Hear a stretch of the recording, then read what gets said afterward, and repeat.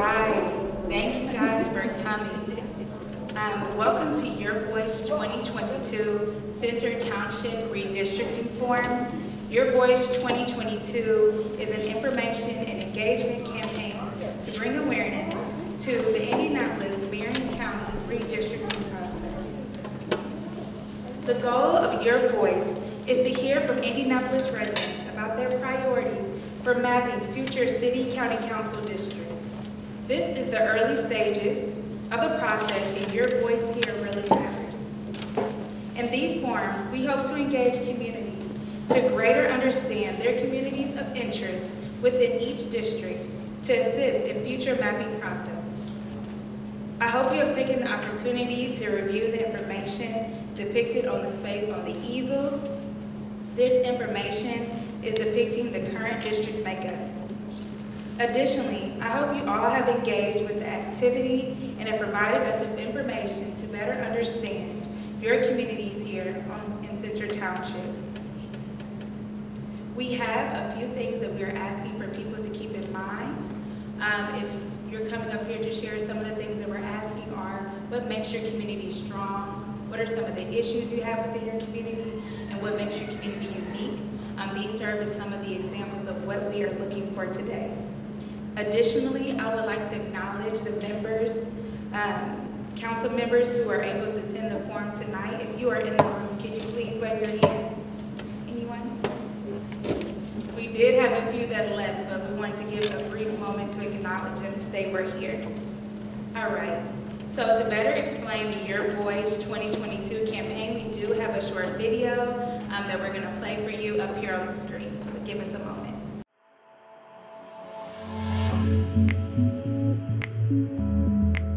Hello, I'm Macy Moore. In this video, I'll introduce you to Your Voice 2022, an information and engagement campaign to bring awareness to the Indianapolis Marion County redistricting process for 2022. The goal of Your Voice campaign is to hear from Indianapolis residents like you about your wants, needs, and vision for mapping future city county council districts. So you may be asking, what is redistricting and why does it matter? Redistricting is the process by which census data is used to redraw the lines and boundaries of electoral districts within a state. This process affects districts at all levels of government, from local school boards and city county councils to state legislatures and United States House of Representatives. The way that district lines are drawn puts voters together in groups. Through elections, these groups decide who will represent them at local, state, and national levels. The way a district lines are drawn is important. Ultimately, it can change who controls a governing body, change what policies get passed into law, and how resources are allocated. So, how is city government in Indianapolis structured? Just as the United States government has the president and Congress, Indianapolis has a mayor who serves as the chief executive and council that serves as the legislative branch. All other Indiana counties have county councils, and each city has its own local council. Indianapolis is unique in Indiana and, in fact, in much of the country because since 1969, the city and the county have been unified in many respects. We call it Unigov. There is a single legislative body for the city and county called the City County Council. The county continues to have several other officials who are separately elected, such as the prosecutor, clerk, recorder, assessor, and the treasurer. The Indianapolis City County Council initially had 29 members, 25 who were elected from geographic districts, and 4 who were elected at large from across the county. The law changed a few years ago, and now we have 25 councilors who are each elected from separate geographic districts. How are council districts set, and do they change over time? The U.S. government conducts a census every 10 years. Once the numbers are in, a process is set in motion to review geographic districts from Congress to the state legislature to local councils around the state. State law requires those districts to be reviewed to account for the new population information. The census dictates how many seats in Congress each state will get, which is why states gain or lose seats in Congress every 10 years. State legislative leaders then work to ensure the state's congressional districts all have roughly the same number of residents to ensure equal representation. They also do the same for the districts of Indiana General Assembly, both the House and Senate. This process is called redistricting. Redistricting should accurately reflect population changes and meet statutory and other legal requirements. This process is used by lawmakers to equitably allocate representation in Congress, state, legislatures, and county and municipal councils. Each state has its own process in drawing district maps. By statute, the City County Council must redistrict Marion County Council districts before the end of the second year after a federal decennial census. This means the City County Council must review the districts and make any changes in 2022. State statute requires the City County Council to pass an ordinance that divides Marion County into 25 districts that, one, are compact, subject only to natural boundary lines, such as railroads, major highways, rivers, creeks, parks, and major industrial complexes. Two, contain as nearly as possible equal population, and three, do not cross precinct boundary lines. Precincts are the smallest geographic units in legislative districting. Several precincts are grouped together to make up a council district. The precinct boundaries must also be reviewed. The county executive, in the case of Marion County, the mayor, is charged with the task of re-precincting in conjunction with the new census this is underway and must be completed before council redistricting can begin. How will the City County Council determine the new district boundaries? The current City County Council leadership team has decided to solicit broad public input on the council redistricting process. Accordingly, all City County Council members and all residents of Marion County have the opportunity to provide input into the redistricting process. Engaging Solutions is a local consulting firm that will facilitate public engagement in the redistricting process so all communities of interest will have an opportunity to be heard. A community of interest is a group of people from a particular geographic area who have similar social and economic interests. For example, some residents may want to share how important a community center is and why it would be valuable to have its service area and the community it serves be inside one or two districts instead of being split up among many districts. How would the public have an opportunity to provide input in the redistricting process? There will be nine public forums where Marion County residents can have a voice in the redistricting process. Participants will be encouraged to share their perspective on the greatest strengths of their local community, along with their thoughts about what makes their neighborhoods unique and what their hopes are for its future. Each form, location, date, and time is listed on the Your Voice 2022 website. If you cannot participate in a public forum, you are encouraged to provide your comments in the designated space on the website. In March 2022, after all forms are complete, a report will be published on the public input process. Maps will be introduced to the City County Council for review and consideration in the spring of 2022. And a final redistricting ordinance will be submitted to the City County Council for a vote at the conclusion of the redistricting process. Please plan to participate in the forum. This is an opportunity for your voice to be heard in the Marion County redistricting process. We look forward to seeing you at one of the forums.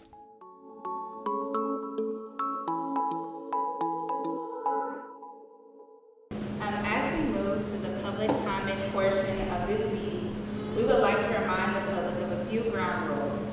In order for everyone to have a fair chance to speak and be heard, it is important that we observe the following rules. First, each speaker will be limited to two minutes. Second, any public comment must reasonably relate to the topic of redistricting. Third, speakers who stray from the subject under consideration or become repetitive may be asked to move on to their next point or conclude their comments. Finally, attendees who are disruptions um, that prevent tonight's meeting from proceeding in a reasonably efficient manner will be removed. Please remember that some types of speech, uh, threatening speech, or incitements of violence aren't protected under the First Amendment. We will deal with those issues if they come up, however, we do not think that they will. We may now proceed to the public input portion of tonight's meeting. Um, I will come down, just raise your hands and let me know if you want to speak.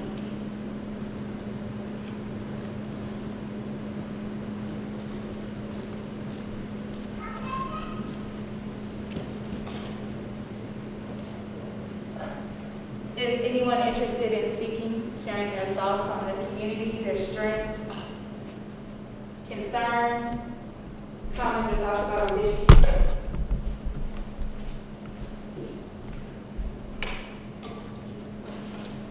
My question is, are there any city county councilors here to hear our questions and our comments? I only saw one, I know pretty much all of them, because I've been politically involved all of my life, pretty much. Where are they? Okay. Um, so, You may not have the answer, but make sure you let them know Ms. Cordelia asked the question. I will be sure to let them know. These videos are recorded, um, so they will be on the Your Voice website, and council will receive, uh, the right of what happens in all of these forms. And thank you for uh, engaging solutions for sponsoring this. Thank you. Anyone else? Please feel free.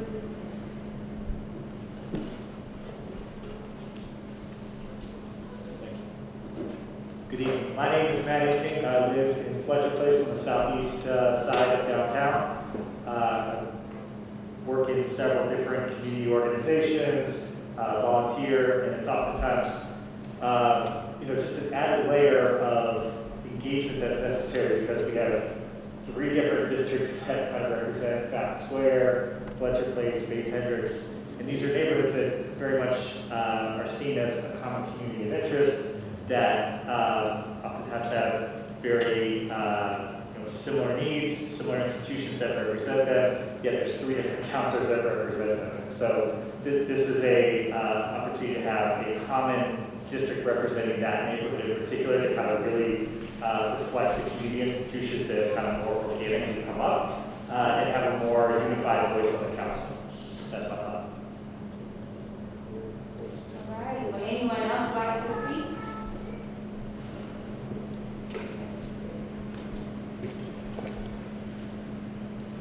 Going once?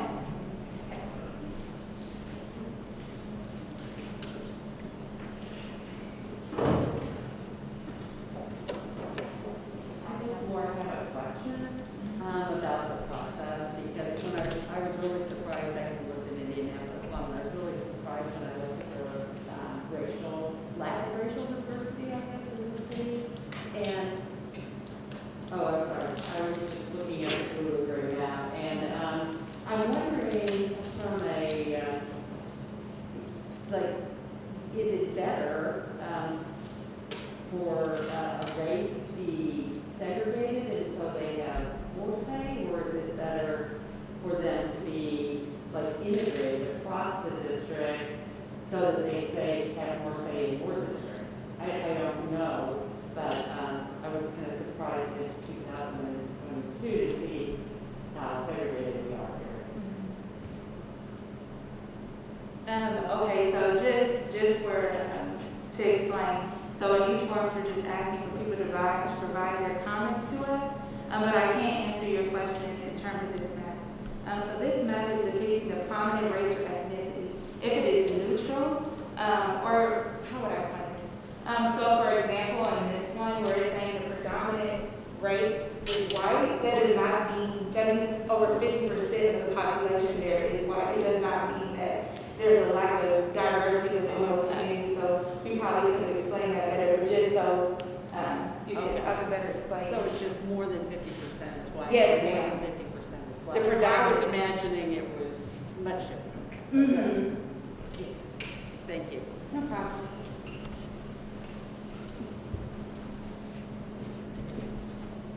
Hi, my name is Kelly Bull, and um, I'm really lucky to live in Herron Morton Place. Uh, We're a neighborhood that's bounded by 16th and 22nd, um, south and and also then Central Avenue and um, very close to Meridian, Pennsylvania um, on the west. And um, I think one of our greatest strengths is that our housing stock is really diverse. Um, so, you know, a lot of times when people think of Airborne Place, they think of great big Queen Anne Victorians and what now look like million dollar homes. But on the west side of the district, um, we have some of the oldest apartment buildings in the city. Um, those old homes have been turned into condos, um, when no one could afford to live in them. Um, and so then we have carriage houses throughout the neighborhood, duplexes, triplexes. So our rents are lower than average, even though our mortgages are higher than average. And so we really actually have a very socioeconomically diverse neighborhood.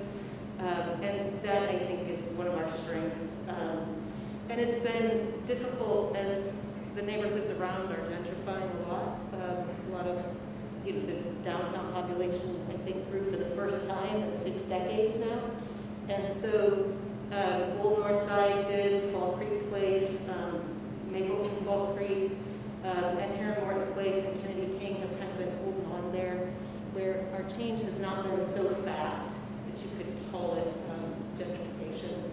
Uh, but, uh, but there has been a long time a culture of um, trying to protect that diversity and equity and inclusion. So we're a historic district, and back in the 80s, even when we were becoming a historic district, we wrote the anti-gentrification language into our preservation plan.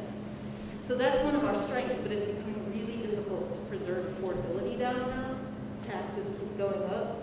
Some of our anchor residents have trouble um, staying on top of those taxes. Um, and we're looking for relief for some of our anchor residents who shouldn't probably need to pay those higher tax rates. Um, we're also a, a strong arts district. We've been really lucky to have Harrison Center of the Arts there and Joanna Taft is a leader there. We've Got a couple of musicals. Uh, we host Tapestry Art Fair every year. Um, so it's really just an eclectic and interesting neighborhood. Um, we're also lucky that Vop Osili lives in the neighborhood, I guess. One of the things we're worried about, um, so we get to hang out with them when we clean up trash and things like that. Um, but uh, um, one of the things we're worried about when we think about Center Township redistricting is, um, as we've been trying to preserve diversity and, and equity uh, and inclusion in the neighborhood, we've been watching neighborhoods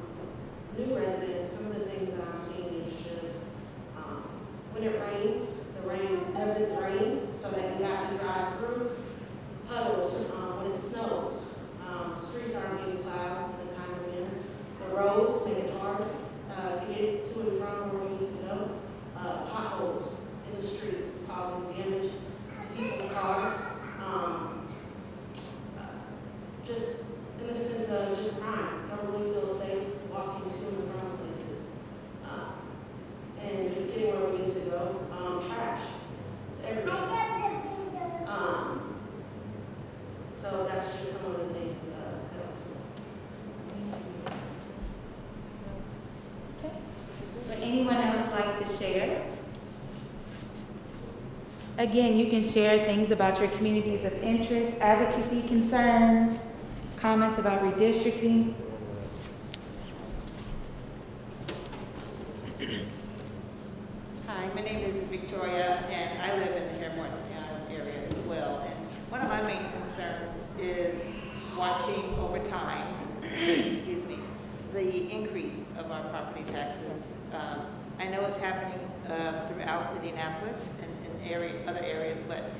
it's to the point where it's just each year. I mean, for a while there, it used to be like maybe every seven years or every, you know, eight years or so, but now it's every year your taxes are going up. And it's just, to me, there, even though there's supposed to be a cap, you don't feel that cap. And even if you appeal, you never win your appeals, uh, just because they base it off of the value of the homes that they're, how they're selling. And we all know that the homes are selling now topping out more than what the value should really be just because of how things are going along with the lack of supplies and demand. And But I just feel in my heart that it's just not right um, that uh, the taxes should be as they are and no one is really, really looking at this. You get more talk, but there's no action, and that's really irritating. And I just hate to see that happen um, to all of us. So that's my comment. Thank you.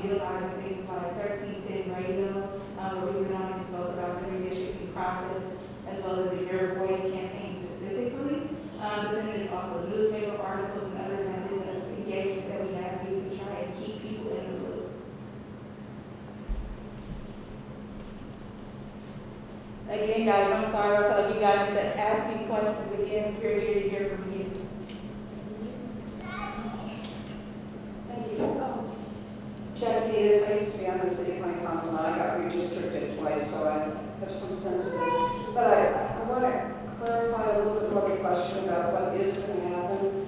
Does engage in solutions on a contract to, to propose new maps? Who is actually going to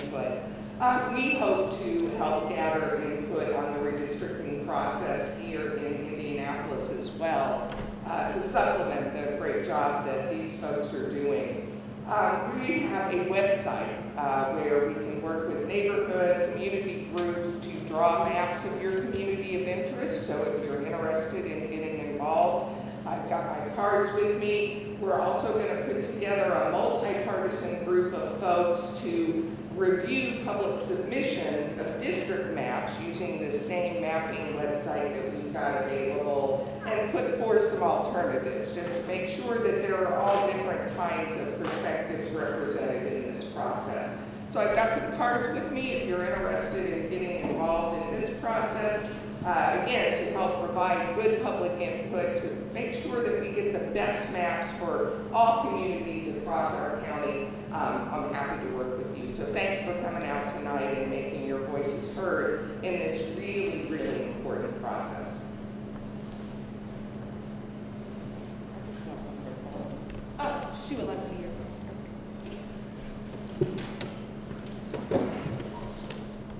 Hi, my name is Sharon Battle. Uh, we moved down, um, in Airborne when they first started. And in my, on my street alone, my community, we are the only ones that own cover that left because everyone with the taxes and everything going on just couldn't afford it. It felt like they was pushed out. And it makes you feel like if you're not with a certain amount of income, they want you to leave. But we stood strong and we stood strong and we're gonna continue to stand strong. But I think personally, some of these councilors should have been out here tonight to hear our voice. We elect them, so they should at least took the time. We came out here in the snow to be here with us at least five, ten minutes. Thank you. Mm-hmm. I do want to take the time to acknowledge the counselors in the room. We did have some coming in If you want to wave your hand for the people in the back. So we do have Vop Osili, the president for the City County Council in the back. He did slide in, so I do want to acknowledge him. Um, was there any other comments that people would like to make tonight? There was one counselor here, wasn't there? There was another gentleman, um, That's uh, Counselor Jones. Ken, Ken, Ken Allen was here as well. Would anyone else? Going once?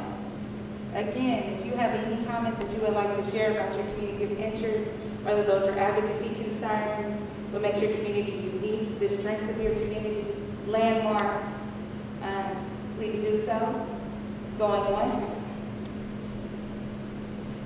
Twice? All right. You want more?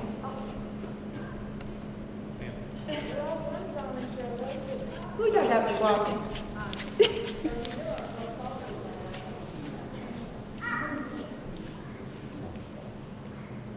The other piece that I just wanted to share, um, is about, uh, where I live, it's just a lack of good, uh, public school options. So every single school, uh, pretty much from the research I've done, is within the bottom five percent of schools in terms of performance. And for me, that's just, this is my daughter here, that's just not acceptable. So that's just what I would say.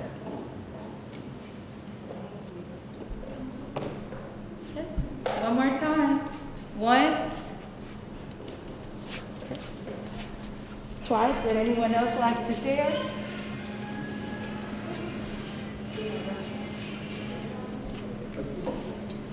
Mason?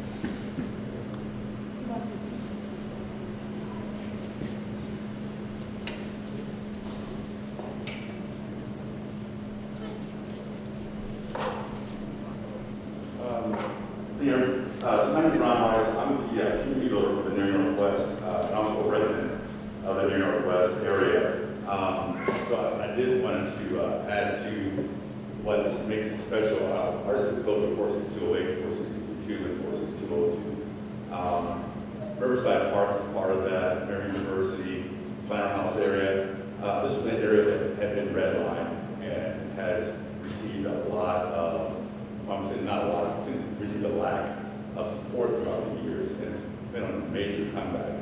We've got a lot of historic spaces um, between the firehouses, between Flanner House, between um, the old, we, if you guys didn't know, the very first uh, library is actually in the northwest of Clifton Street. Um, the organizations and the community that's there have really been putting a lot of effort into trying to rebuild into not only a big arts and culture, but also improving on our, on our schools. We just got Riverside High School in the last uh, couple that been a big boom to our area. We're now having the Riverside Park Master Plan. Uh, we're having all these things that are happening right now. Uh, and so I just wanted to kind of point out that the Near Northwest is on the move, it's been on the rise, um, and there's a lot, a lot of our folks who have, uh, who have lived in the city all their life at some point in time came from this area. Um, and so it's, it's not only, we talk about Indiana Avenue being Story. we talk about some other places, but the Northwest has been historically where people have raised families, uh, have, we've had serious professionals there, um, and we're trying to get that back, and we're doing a really good job, I believe, with the collaboration of not only all the organizations, but also all of the residents that have been on the move. I have personally seen a huge growth in resident input, uh, improving community engagement with the organizations, the city, and the residents amongst themselves, uh, and welcome you all to come and join us at any given time. Um, I can always give my email with, uh, well, or anyone here, but uh, we would love to see y'all out there and would love your support too. So thank you. Thank you.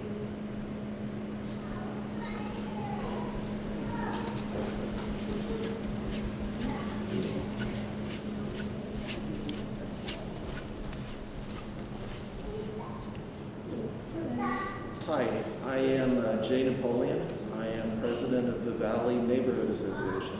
We're the boundaries of the Valley neighborhood, uh, Washington Street, the White River, uh, essentially uh, South Harding, and Morris. We are the home of um, something in the news pretty much every day now, the GM Stamping plant. Uh, we're, the, we're part of a gigantic project where the Elanco World Corporate Headquarters will be held. Um, our project will change essentially what the footprint of what downtown Indianapolis looks like.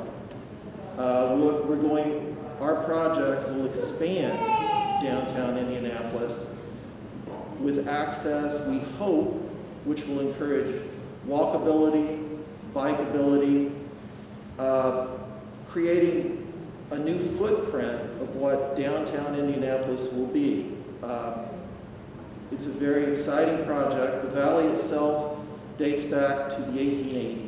Uh, we're a very old neighborhood uh, with the industrial, we're part of the old industrial rust belt for sure.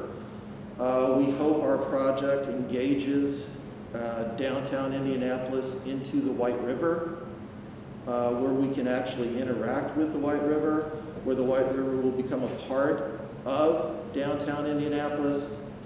Uh, we hope we're the focal point of that. We're, we hope we're the focal point, as I said, uh, to create a more walkable, bikeable city. So essentially the valley, um, our neighborhood is the focal point of all this. This redistricting is going to be very important to us because, again, our boundaries, we're expanding downtown Indianapolis, hopefully to make a more sustainable, uh, a more uh, sustainable city that can better endure uh, hardships like COVID uh, with more housing, affordable housing, et cetera. We're, so we're very excited about that. Thank you. Thank you. Would anyone else like to speak?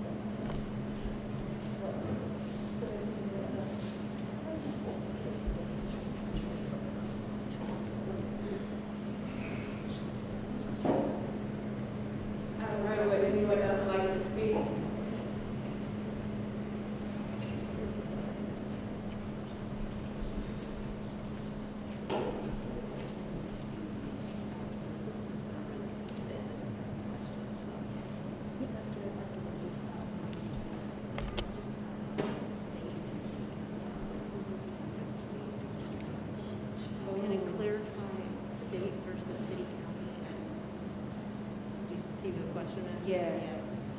Okay, so her question had to do with the state redistricting and the city redistricting. And personally, I cannot answer that question. I, I don't, I don't have the expertise to. I can probably. So she can, she can probably go with that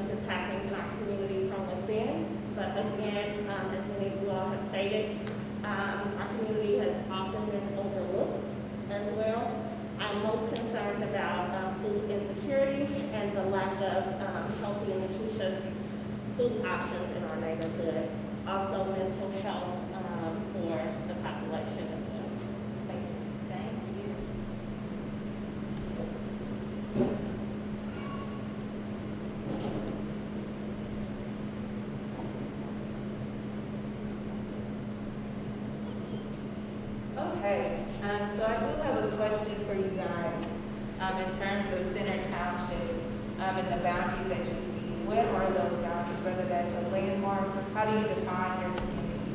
So for example, I live in four six two one eight, uh, in Brightwood, and for me, my landmark would be Douglas Park, or, uh, KIPP, what used to be John Marshall. Um, or certain churches within those communities, those are something that I consider a landmark. What are those for you Center Township? How do you define it? Would anyone like to share?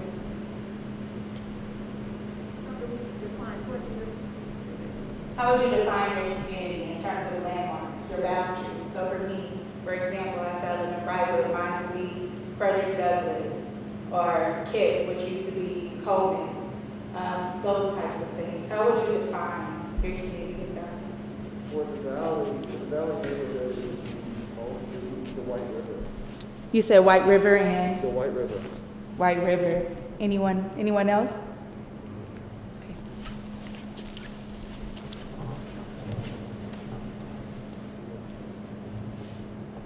So hi again, my name is Matty Pink. I live in Fletcher Place. Uh, for us, I think a really important landmark for us is Virginia Avenue, running from downtown and really uh, uh, stops in the Square where the Shore Fountain is. And that whole corridor is really a very definitive part of what makes Fletcher Place, Fountain Square, Great Centers, uh, you know, really tied in commercial uh, fashion. Uh, all the transportation routes run right up Virginia Avenue uh, with IndyGo. So that's a really important landmark for us, and big reason why I stated earlier, we've got three different council districts that represent that area, and you know institutions like uh, Fountain Fletcher, which is the old, uh, used to be called the Fountain Square Merchants Association, uh, Southeast Neighborhood Development, Southeast Community Services. All these institutions really kind of uh, represent those neighborhoods and more, but that is really the core of uh, the community that we see. Even though it's different neighborhood, uh, different neighborhood associations, but the Virginia Avenue corridor is really what really kind of brings those communities together in a really common interest.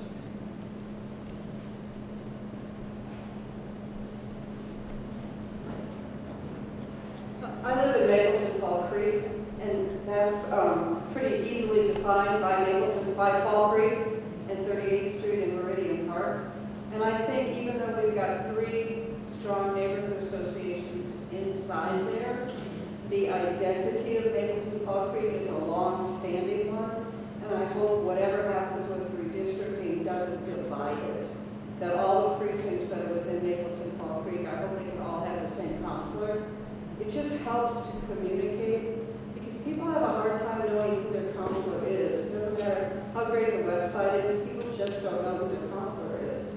And the more you can have neighborhood unity, that people can use their neighborhood units as communication mechanisms to their councilors, I think it just makes it a little bit easier. What is the three? Um, Watson McCord, uh, uh, Historic Watson Park, um, Historic Meridian Park, and then what's left? Would anyone have right now? Define my neighborhood, I guess. Okay. I live in what is called the Near North Development Area.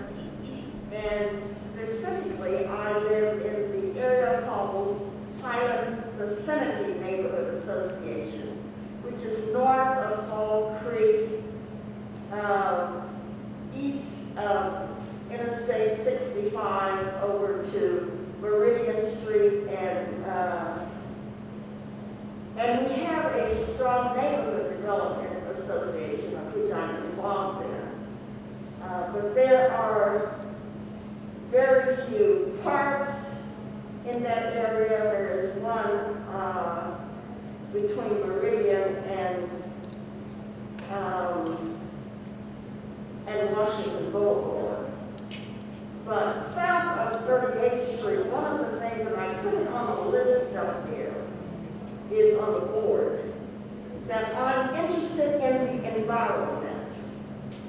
And uh, south of 38th Street, there are very few trees, but a lot of older citizens who live in that area. Uh, south uh, on Illinois, Capitol, and uh, streets in, uh, cross streets in between.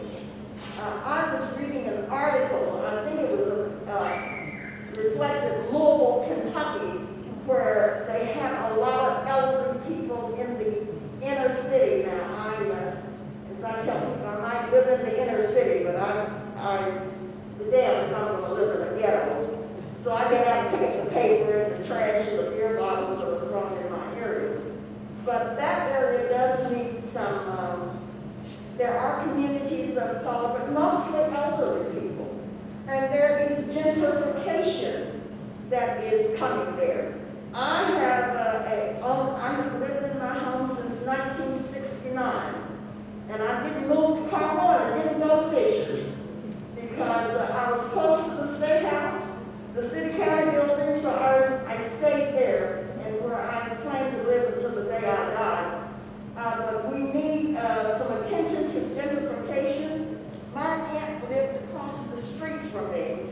And at the time that she, uh, that I purchased her home, the taxes were $576 twice a year. They've gone up to $2,300 now and nobody's in the house because I'm trying to uh, uh, renovate the home, but she hasn't lived there since 201, but renovate the home so that uh, others can, can uh, reside in their property.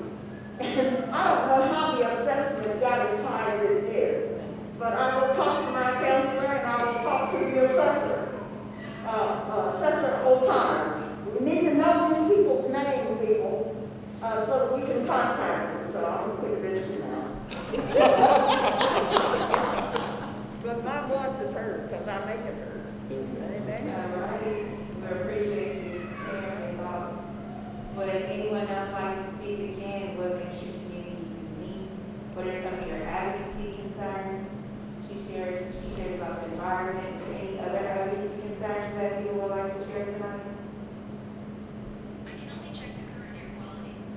Sorry. Siri has some concerns.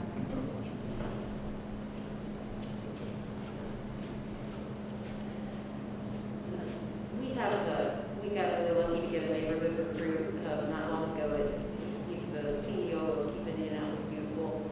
And he has, he, together with our association president, have a goal to make us the first carbon neutral neighborhood in the city. Um, so that's exciting.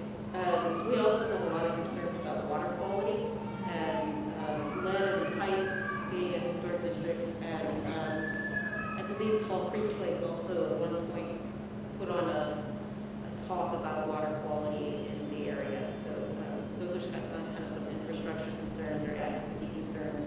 And we're also trying to reclaim some of our streets from commuters. So we've got, we've we've successfully got Central Avenue turned into a two-way street, but we still have a lot of speeding on Delaware and Pennsylvania and um, where those are still being, we're hoping those become two-way streets. Also alleys, Kelly. Oh, yeah, the alleys are all right. Atrocious. Yeah, yeah, but that's construction, I guess, yeah. I know what the number is.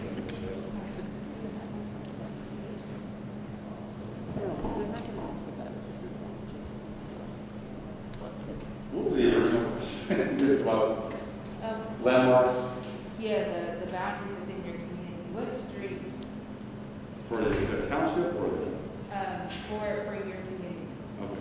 So for the near northwest, um, uh, our boundary is uh, 38th Street uh, is our north boundary, 16th Street is our south boundary, Kessler Boulevard, along with uh, the meandering of the river, is our west boundary, and uh, technically Boulevard is our, um, and there are seven neighborhoods within that. I'm actually sitting next to one of the neighborhood presidents right now.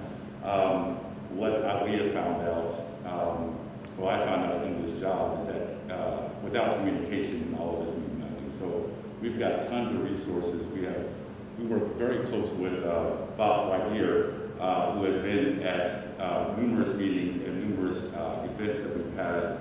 But if we don't talk more, if we don't, like I run the newsletter for the entire area, and that's our way of getting, because a lot of folks come out.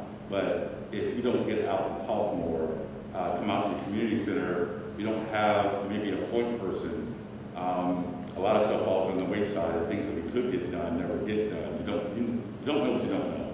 Uh, I love what you said, ma'am, um, and I, I, please say, and I, uh, any support that we can do to help you, you're right there, right next to us. Uh, that's the other thing is, a lot of communities are not collaborating with the other community, and then you have this breakdown, we can be helping each other out. Uh, so I know there, there are folks there right now, like right now, we're fixing a ton of senior homes for free. Um, how can we get that over to your area? Um, how can we share those resources and whatnot?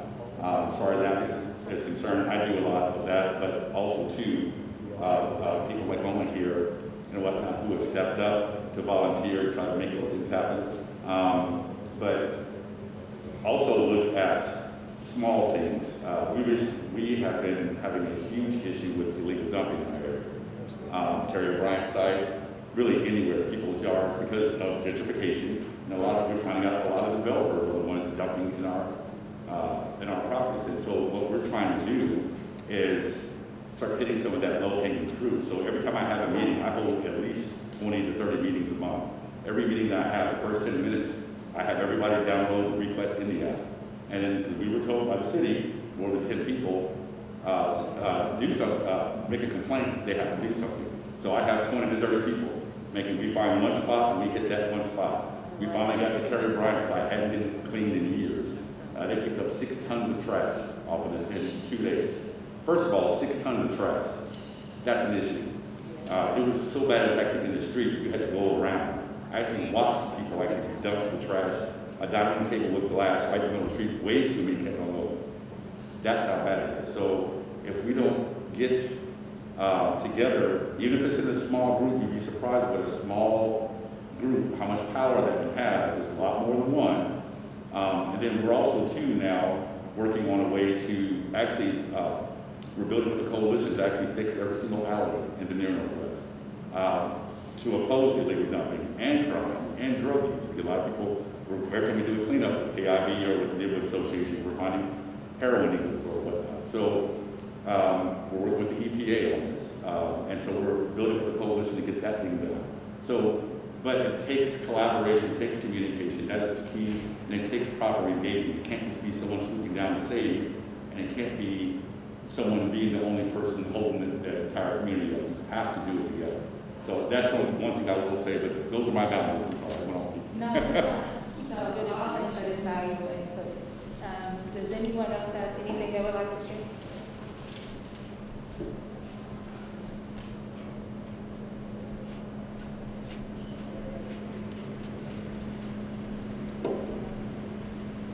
Just going back to the question about how do the lines get drawn and how might they be drawn, I'm thinking again about the red line. I'm thinking about how to leverage its existence and how to help it thrive. Um, I'm worried that, you know, people are not enjoying taking advantage of it.